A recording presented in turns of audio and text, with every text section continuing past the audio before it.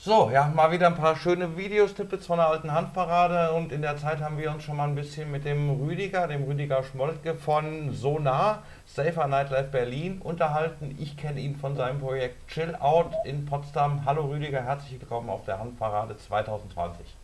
Ja, vielen, vielen Dank. Herzlich. Schön dich zu sehen. Ja. Ähm, Gehen wir gleich ans Eingemachte. Ähm, wir kennen uns eigentlich schon auch sehr lange. Ich habe das erste Interview mit dir, glaube ich, vor 15 Jahren gemacht. Damals äh, noch für Chill Out. Das ist ein Präventionsprojekt in Potsdam, ein äh, Safer Use Projekt in Potsdam, richtig. Und ähm, mittlerweile bist du für, äh, hast du so, bist du äh, für Sonar aktiv. Hast du auch ein sehr schönes T-Shirt an. Und ähm, was ist Sonar? Okay, ich habe eine kleine Präsentation vorbereitet. Wenn ihr wollt, äh, kann ich die mal ein, äh, auflegen. Ja, ähm, werde ich mal tun. So, jetzt noch das richtige. Ach, da, der Chrome Tab war es.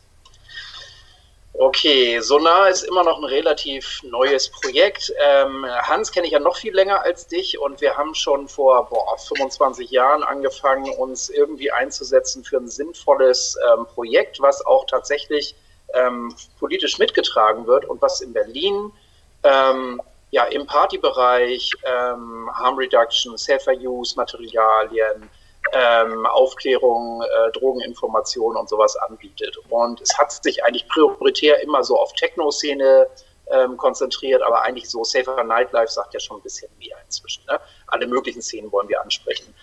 Und letztendlich war es ein super langer, sehr zäher Kampf. Die Berliner Behörden und Politik sind ja doch auch zum Teil sehr konservativ und da wurde immer noch sehr sinnlich gesehen und so.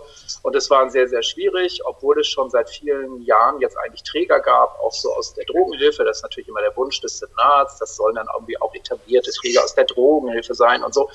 Ähm, und letztendlich ist es dann gelungen, vorletztes Jahr eine Förderung zu erreichen und wir haben jetzt ein ziemlich großes Netzwerk. Sonar ist so ein Gemeinschaftsprojekt von Fixpunkt, Vista und Notdienst Berlin. Das sind so Drogenhilfeträger äh, der Clubkommission in Berlin. Da ist auch mein Co-Koordinator da drinne und ähm, von Eclipse. Eclipse bietet seit 1997 auch Krisenintervention, vor allen Dingen auf der Fusion als sogenannte psychedelische Ambulanz an macht aber inzwischen viel, viel mehr Drogeninfos, Infostände und so weiter und ja, ist halt ein Peer-Support-Projekt, was auch völlig ohne staatliche Förderung auskommt.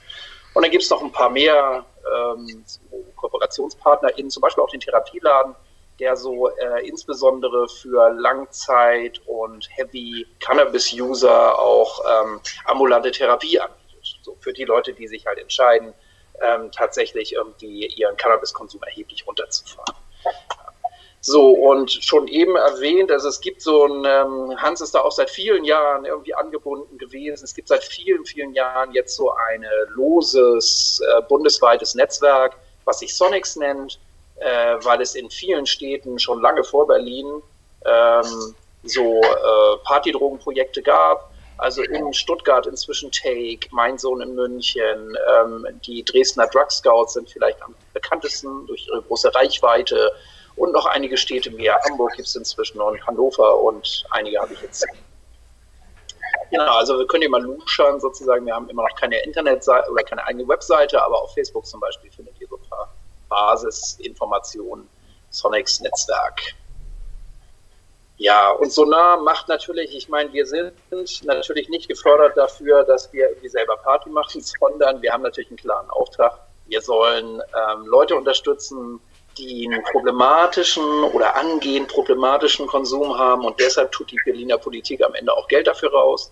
Wie machen wir das? Na, durch Informationen, durch sowas wie Kompetenzvermittlung, hier ist ein Dreher drin, sehe ich gerade, und durch Beratung. Und in der Praxis heißt das denn, wir machen ganz viele Infostände. Jetzt hat uns Corona natürlich auch voll erwischt, ähm, weil die ganzen Clubs ja zu sind, normalerweise eben in Clubs. Ähm, wir haben in anderthalb Jahr, also wir haben im letzten Jahr so fast 160 Infostände gemacht. Das werden wir, wollten wir gar nicht erreichen, aber ja, jetzt ist natürlich erstmal alles gekillt sozusagen, was unsere direkte Vorortarbeit anbelangt. Außer, dass wir ein bisschen rumspazieren mal und uns Sachen angucken, zum Beispiel in der Hasenheide und so, wie feiern Leute und wir sind natürlich ansprechbar, aber es gibt natürlich keine Infostände. Und diese Infostände hier, das ist ein ziemlich wilder, weil ziemlich kleiner. Da müssen wir uns manchmal auch ein bisschen mit einer Nische zufrieden geben, aber manchmal haben wir auch viel Platz und verteilen dann ganz viele Safer-Use-Materialien. Äh, Policy bei uns ist, alles ist for free. Das ist uns sehr wichtig. Ähm, und unsere, ja, bisschen so bestgehendes ist das Sonar Party Pack. Ähm, das ist ein Safer Sniffing Pack zum Beispiel, haben wir im letzten Jahr so fast 15.000 davon rausgeschmissen, sage ich jetzt mal. Nee, nicht rausgeschmissen, sondern wir haben sie weitergegeben. Und was ist da so drinne? Ist jetzt ein Beispiel. Also wir verteilen Nasenspülung, wir verteilen Ziehblättchen, damit die Leute nicht irgendwie auf die Idee kommen, Geldscheine zu teilen oder überhaupt Ziehröhrchen zu teilen, was halt eine große Ansteckungsgefahr hat. Nicht nur mit relativ harmlosen Erkältungsviren, sondern auch mit Hepatitis zum Beispiel Viren.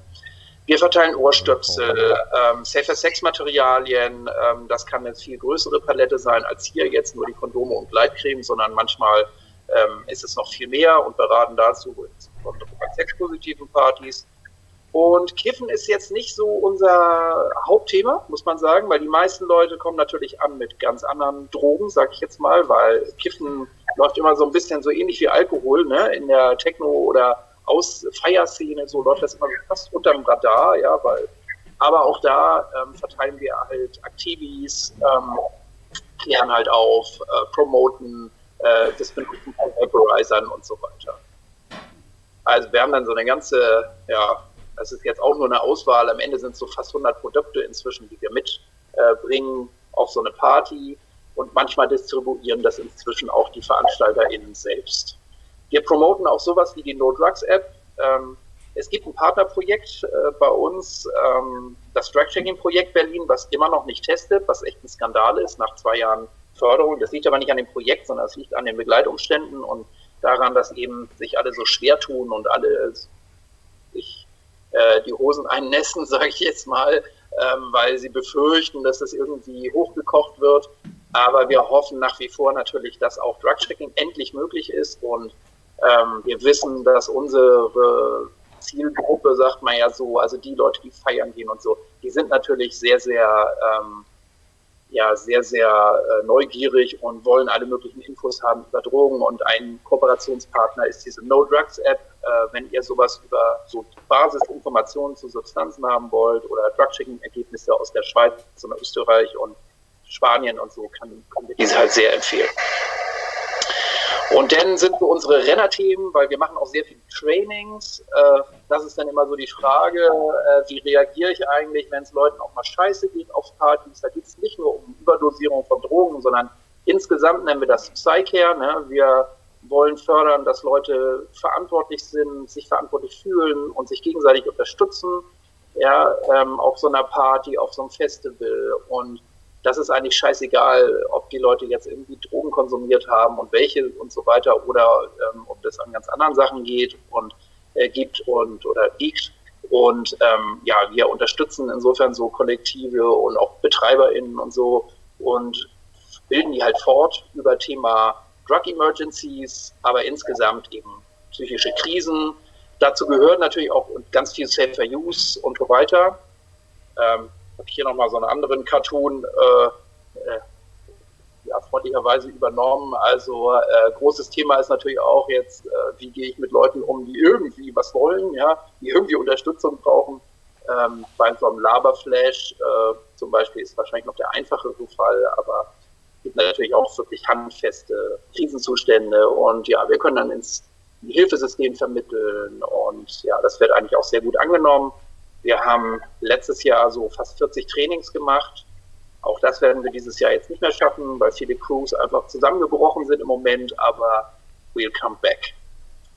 Ja, wir haben, ähm, ich überspringe jetzt einfach mal die letzte Folie und erzähle euch das so und blende mich auch mal aus, weil das Allerwichtigste vielleicht zu unserem Projekt ist, äh, dass wir eben auch ähm, erstmal Ansprechpartner sind und das Ganze so als Unterstützung aus der Szene für die Szene verstehen.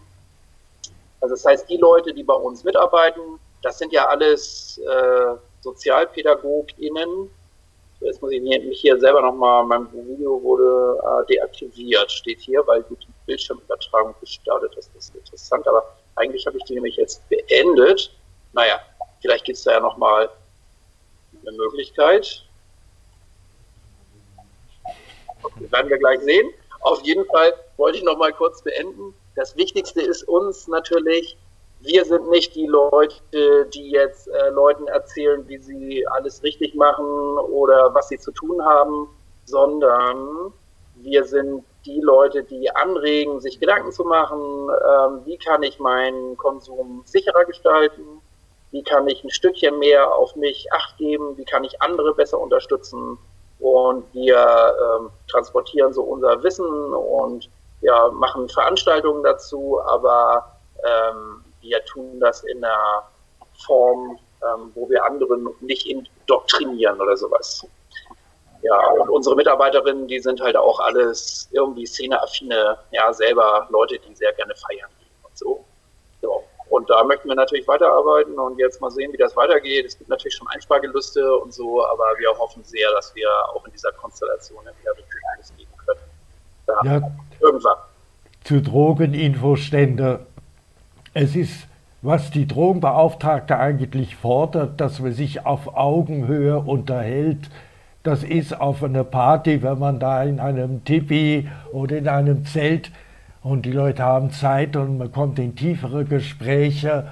Es ist für die Drogenberater, sag ich mal, die Crew an so einem Infostand nicht nur ein Geben von Infos, sowohl über Cannabis als auch über alle anderen legalen und illegalisierten Substanzen. Nicht wahr? Schon gesagt, genau. Aber okay. Also die Erfahrung ist auch nicht, dass die Leute wirklich Angst haben. Ich meine, klar, man sieht immer einen Teil der Leute nicht und einige, äh, wenn die eine Drogeninfo äh, lesen oder ähm, Kondome rumliegen sehen, die, die suchen erstmal das Weite eher, aber in der Regel sind die Leute total dankbar und ähm, ich meine, man muss ja echt mal sagen, Berlin ist ja schon auch sehr liberal und so einen sehr großen Verfolgungsdruck. Jetzt, jetzt ist es gerade anders, aber normalerweise ist ja ein Club auch ein schöner, geschützter Ort, ja, in dem man sich sehr gut austauschen kann über Drogen. Und wir wollen so ein bisschen so durchbrechen, dass es immer nur so das äh, verheimlichte, tabuisierte, sehr oberflächliche Getalke gibt über Drogen, ja. Alles muss immer schnell gehen und geheim ablaufen und ähm, ja, irgendwie, es gibt dann so die Checker und die versorgen die anderen und ähm, sagen denen, passt schon das wollen wir halt durchbrechen. Wir wollen, dass jeder irgendwie kompetent ist im Umgang mit Drogen. Ja. Schwierig war es, die Clubbetreiber mit an Bord zu kriegen, weil das finde ich eine besonders schöne Sache, weil äh, die haben ja auch von der Polizei andererseits oft Druck. Die sind ja einem gewissen Druck ausgesetzt, wenn in, in einem Club illegalisierte Substanzen verkauft oder konsumiert werden. Ja, ähm, was, was, was einfach was und, und, und ähm, ja, finde ich. Also, erstmal war es sehr einfach wir haben letztes Jahr hätten wir, ich glaube, fast doppelt so viele Veranstaltungen am Ende begleiten können und haben viel mehr gemacht, als wir eigentlich von ausgegangen waren. Wir haben halt die Clubkommission als wirklich Sprachrohr in die Szene, sage ich jetzt mal, und ähm, viele kannten auch diese Art von Angebote schon vorher. Und es gibt insofern so eine, ja, so eine Grundstruktur von Clubs, die, mit denen wir einfach einen richtig guten Kontakt haben, wo wir im Prinzip jedes Wochenende dann zweimal sein könnten. Ja, ähm, wenn da Veranstaltungen wären gerade. Es gibt natürlich auch viele andere Clubs, zu denen wir eigentlich nicht einen richtigen Draht haben, ja, weil tatsächlich ähm, für viele das auch noch belegt ist, hm, macht mir das am Ende Probleme, wird, wird die Polizei dann doch oder äh, doch wieder auf uns aufmerksam, ähm, wir haben vielleicht eh schon so ein Image, ja, als Trophy-Club oder sowas, ja, und hm, jetzt ähm, suggeriert das vielleicht, dass die Leute dann noch, also dass wir noch mehr so abgestempelt werden und so. Ähm, das ist zum Teil noch ein längerer Weg. Also es ist nicht so, dass wir in jedem Club gleich gut drinne sind und ähm, das als Selbstverständlichkeit gilt. Das ist sehr unterschiedlich.